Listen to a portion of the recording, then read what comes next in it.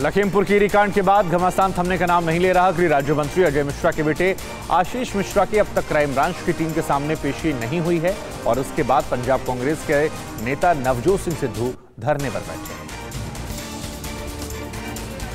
लखीमपुर हिंसा के बाद सियासत की मज़बूत होती राहों पर हर राजनीतिक दल नफा नुकसान देखकर अपने कदम उठा रही है। इस मुद्दे पर कांग्रेस के तेवर बेहद तल्ख नज़र आ रहे हैं। इस बात की तस्दीक कांग्रेस नेता नवजोत सिंह सिद्धू के धरने पर बैठ जाने से होती है। मृतक पत्रकार रमन कश्यप के घर सांत्वना देने पहुँचे सिद्धू का कहना है कि जब तक गृह राज्य मंत्री अजय मिश्रा के बेटे आशीष मिश्रा की गिरफ्तारी नहीं हो जाती, तब तक मैं धरने आरोप ही बैठूँगा। भूख हड़ताल करूँगा और मौन रहूँगा। वही सिद्धू के धरने आरोप बैठ जाने के बाद प्रशासन के होश उड़ गए हैं। कई पदाधिकारी मौन अनशन आरोप बैठे सिद्धू को मनाने की कोशिश कर रहे हैं।